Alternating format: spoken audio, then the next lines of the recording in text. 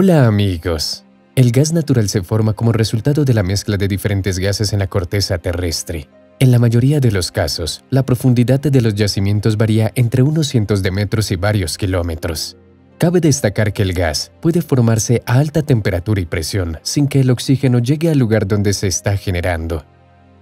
Aún no hay consenso entre los científicos sobre el origen del gas natural.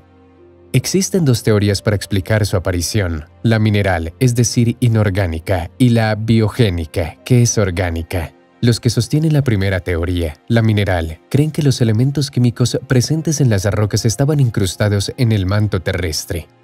Los científicos creen que estos compuestos se encuentran en las profundidades de las capas rocosas y forman parte del proceso de desgasificación de nuestro planeta. Los movimientos internos de la Tierra hacen que los hidrocarburos, que se han formado en las capas más profundas de la Tierra como resultado de las altas temperaturas y la presión, suban más cerca de la superficie, donde la presión es menor. El resultado de estos cambios es la aparición de yacimientos de gas y petróleo. Los defensores de la teoría mineral resaltan que el proceso descrito es permanente, por lo que no hay que preocuparse por el agotamiento de las reservas de gas natural. La esencia de la teoría orgánica es la siguiente. El gas se formó a partir de los restos de organismos animales y de vegetales que bajo la influencia de altas temperaturas, así como de la presión y las bacterias, se convirtieron en un compuesto de carbono gaseoso. Estos últimos penetraron en los huecos de la corteza terrestre, formando los yacimientos de gas y petróleo. Por lo tanto, la teoría biogénica subraya que el gas natural es un recurso natural agotable, hay que mencionar que el gas natural está compuesto en un 98% por metano. Además puede incluir etano, propano, butano, entre otros. También existe el término gas no convencional, es decir, gas de lutita, que se extrae sobre todo de rocas sedimentarias. Se encuentra en las profundidades del subsuelo, en filones de carbón, arsénica y otras zonas geológicas, bajo una presión extremadamente alta. Uno de los principales productores mundiales de gas de lutita es Estados Unidos, que hoy en día representa solo un poco menos de la mitad de toda la cantidad de gas que hay en el país, y que tiene previsto aumentar hasta el 56% para el 2030. En la actualidad, casi todos los países productores de gas de lutita cuentan con plataformas de perforación, pero la mayoría de ellas, alrededor del 40%, pertenecen a Estados Unidos, porque es precisamente este país que vende una enorme cantidad de gas cada año. Vamos a hablar de este tema con más detalle y abordemos las cuestiones que nos interesan. Actualmente existen varias formas de extraer gas y vamos a examinar cada una de ellas detalladamente. La perforación vertical fue el primer método utilizado para extraer gas natural y el único empleado hasta los años 80, cuando se inventó la perforación horizontal. La perforación vertical se sigue utilizando en algunos casos en la actualidad, cuando los yacimientos de gas natural se encuentran justo debajo de la superficie. En la perforación vertical, los pozos se perforan directamente en la tierra, en las rocas porosas que contienen el gas natural. También se denomina gas natural convencional.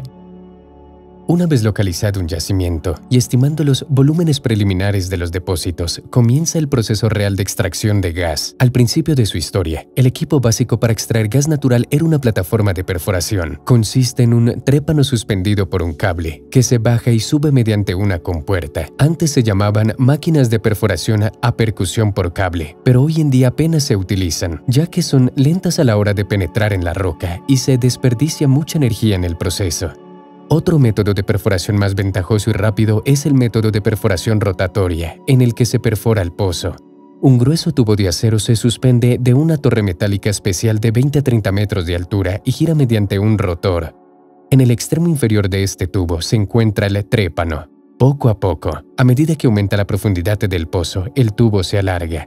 Pero la perforación rotativa tiene sus desventajas. Cuanto más profundo sea el pozo, más se le dificultará el motor rotativo y más lenta será la perforación.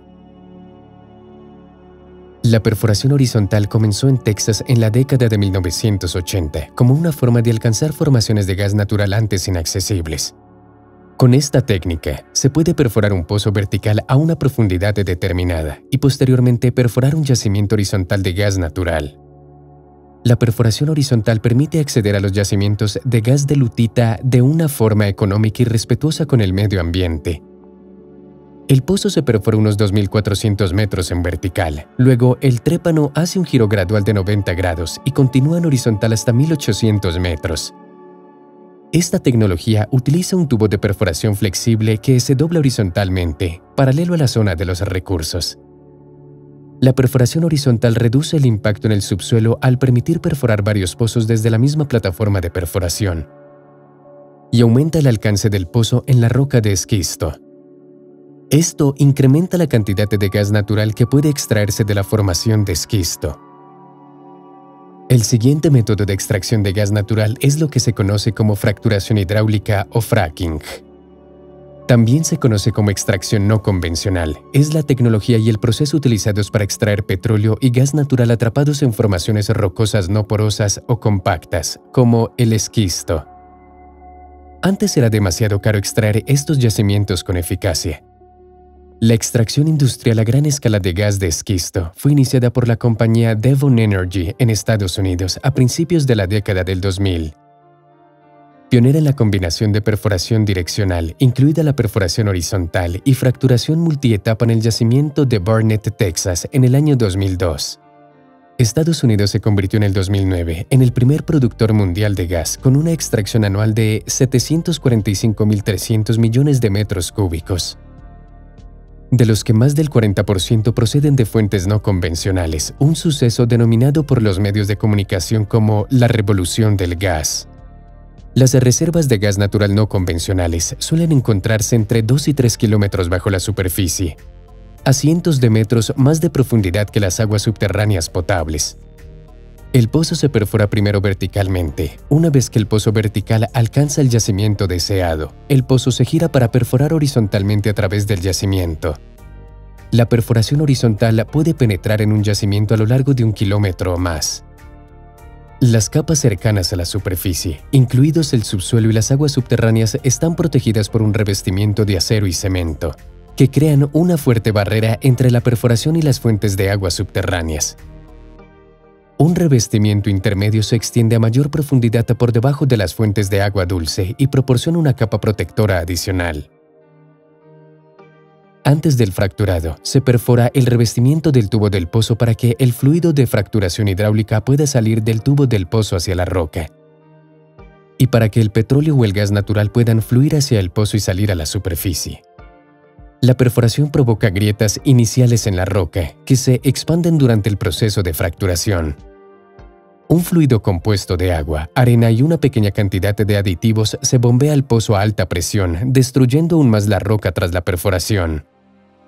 Estas grietas se extienden una distancia de 50 a 100 metros del pozo horizontal. La arena mantiene abiertas las fracturas, proporcionando vías para que el gas natural entre en el pozo para su extracción. El pozo suele fracturarse una vez y puede explotarse entre 20 y 30 años. El gas de lutita se encuentra en pequeñas concentraciones de 0,2 a 3,2 metros cúbicos por kilómetro cuadrado, por lo que es necesario perforar grandes extensiones para lograr extraer cantidades significativas de ese gas. Canadá, con sus 16,2 billones de metros cúbicos de reservas de gas de lutita, solo está un poco por detrás de Estados Unidos, con sus 24 billones de metros cúbicos de reservas conocidas en este ámbito de explotación. La tecnología del fracking ha transformado el mercado energético del país, proporcionando un medio alternativo de extraer petróleo y gas natural de formaciones rocosas compactas, cuya extracción antes no resultaba rentable. Aunque en esencia la fracturación hidráulica no tiene nada de malo, preocupa su práctica y su posible impacto ambiental, sobre todo en lo que respecta a la contaminación del agua, los terremotos provocados por la fracturación y la liberación y combustión de metano y otros gases. Por lo tanto, el fracking en Canadá está estrictamente regulado para minimizar el impacto sobre el medio ambiente. Este método también ha creado miles de puestos de trabajo y le aporta ingresos al Estado a través de los impuestos. La modernización de la tecnología de extracción de gas de lutita va en la dirección de sustituir la mezcla de agua y productos químicos por geles hechos de hidrocarburos licuados, metano o propano. Con este nuevo método, todo el gas líquido inyectado en el yacimiento se convierte en estado gaseoso y se extrae junto con el gas de lutita extraído. Este proceso fue utilizado por primera vez por la empresa canadiense Gasfrac hace unos años. y desde entonces se han explotado más de 1.500 pozos en Canadá y Estados Unidos con esta tecnología. En cuanto a los países de la Unión Europea, Polonia tiene las mayores reservas de gas de lutita, 4,2 billones de metros cúbicos y Francia con 3,8 billones. No es ningún secreto que el metano en las capas de carbón es una forma natural de gas natural. Es algo que se sabe desde hace mucho tiempo y supone un gran problema para los mineros. El metano del carbón suele provocar explosiones en las minas, lo que hace que las rocas se derrumben. La concentración de metano aumenta con la profundidad de la mina, por lo que el riesgo de accidentes aumenta con la profundidad. El metano se encuentra en varias formas, en estado libre, disuelto y absorbido. Se convierte en una sustancia explosiva en cuanto se mezcla con el aire y el polvo de carbón, por lo que se intenta mantenerlo alejado de las capas de carbono para mayor seguridad de los mineros. Para no desperdiciar, por así decirlo, los residuos de la producción de carbón, se ha aprovechado mucho el drenaje del gas. La desgasificación, el proceso de drenaje del metano, tiene dos métodos, activo y pasivo.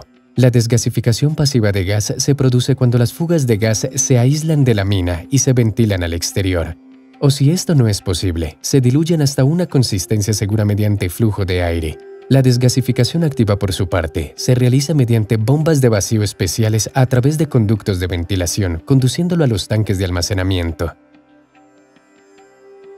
No solo existen reservas de gas en tierra, sino también bajo el agua.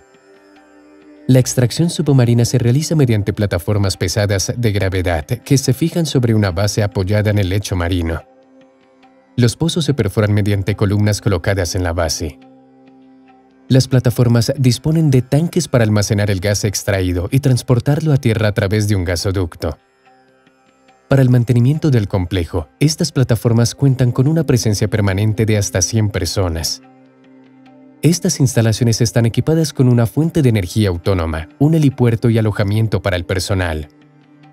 Cuando los yacimientos están cerca de la costa, los pozos se abren de forma inclinada, empiezan en tierra con su base bajo el fondo marino.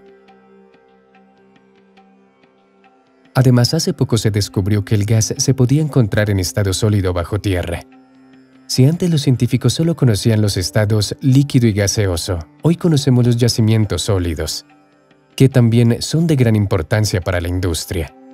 Cada día son más los que afirman que existen grandes acumulaciones de gas de efecto invernadero en el fondo del océano en forma de hidratos, compuestos cristalinos formados a partir de agua y gas en determinadas condiciones termobáricas.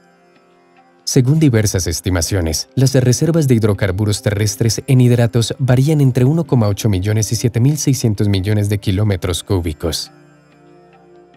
Eso es todo amigos. Denle me gusta si han aprendido algo nuevo y hasta la próxima.